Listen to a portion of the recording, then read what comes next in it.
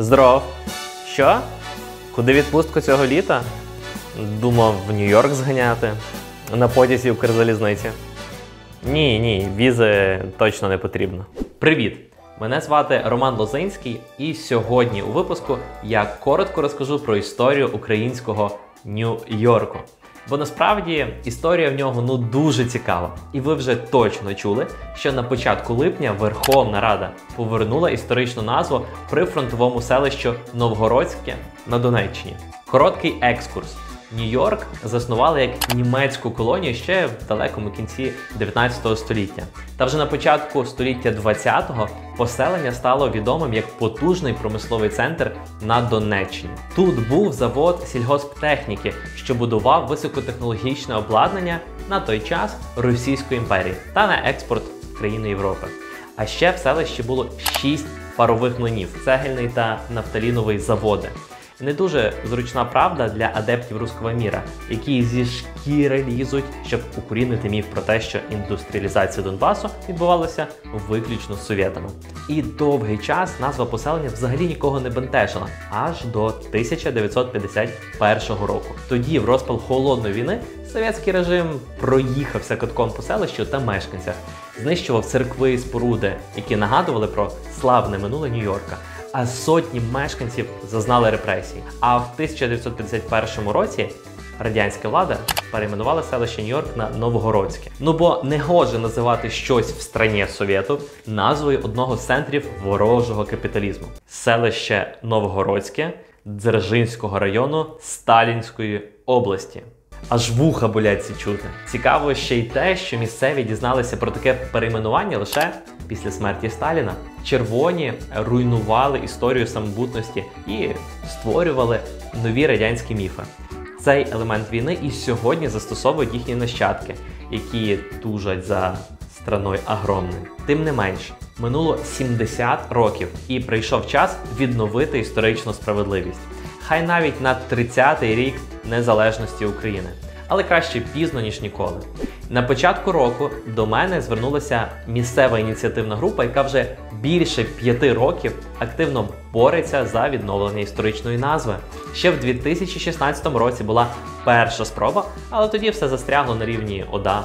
У 2019-му активісти повторили спробу і зібрали 838 підписів за відродження історичної назви. І це дуже суттєва кількість, як для населеного пункту в 10 тисяч мешканців. Врешті я заручився підтримкою колег-депутатів та зареєстрував відповідну постанову в Раді. Документ пройшов всі комітети і отримав повну підтримку. Але справа мала шанс затягнутися ще надовго, так як пройшовши погодження на рівні комітетів, постанова майже півроку не потрапляла до порядку денного під купол. Тож 1 липня. Під час засідання парламенту мені вдалося зібрати підписи усіх фракцій груп та протиснути позачергове голосування за український Нью-Йорк. 301 голос за. Проект постанови про перейменування селища міського типу Новгородське Бахмутського району Донецької області е, в селище міського типу Нью-Йорк. Я не жартую, всі фракції підписались. Це точно без обговорення, може за повною процедурою? Добре, тоді ставлю на голосування.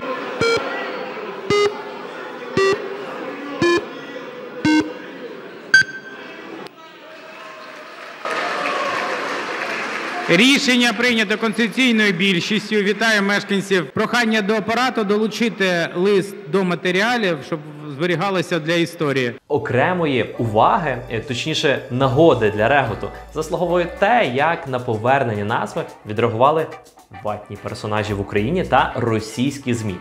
Так, наприклад, любитель шапок з комуністичною символікою та нардеп від ОПЗЖ Ілля Кива одразу ж побіг на російські телеканали. Я еще Так один вот, вопрос хотел вам задать. ща- Э, Вот да. только что посольство США на Украине обнародовало э, поздравление жителям поселка городского типа в Донецкой области, который теперь называется Нью-Йорк. Значит, послица написала. Поздравляем жителей Нью-Йорка Донецкой области с возвращением исторического названия своего города благодаря межфракционному консенсусу Верховной Ради Украины. Ну и так далее.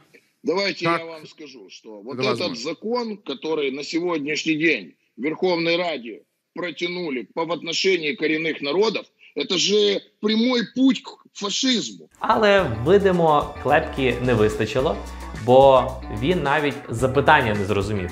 Відзначалися також інші запорєбрікові ЗМІ, які освітили цю подію як загравання із Сполученими Штатами та навіть назвали це американізацією Донбасу. Але гаразд, е, те, що скавучають за перебріком, нас дуже сильно не має переймати. Більше я зацінив те, як на повернення історичної назви відреагували дипломати та українські компанії.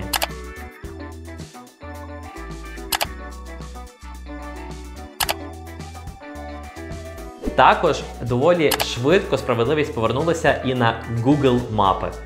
Так що тепер придбати нерухомість в Нью-Йорку стало значно доступніше. Але якщо без жартів, друзі, перш за все для місцевих це фактор безпеки. Адже тепер сепаратисти тричі подумають перед тим, як обстрілювати Нью-Йорк. По-друге, це потужний фундамент для розвитку туризму та залучення інвестицій. І по-третє, і найважливіше, нам має бути все одно на те, що гавкають в Кремлі.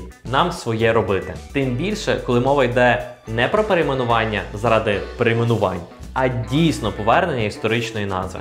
Це про відновлення справедливості. Що ж, дякую, що подивилися до кінця це відео. Тисніть лайк, якщо вам захотілося після цього чкурнути до українського Нью-Йорка. І обов'язково не забудьте підписатися на канал і тиснути дзвіночок. Так ви не будете пропускати нові цікаві відео про українську політику. До речі, ось зараз на екрані пару варіантів, що ви можете подивитися на каналі. До зустрічі, па-па!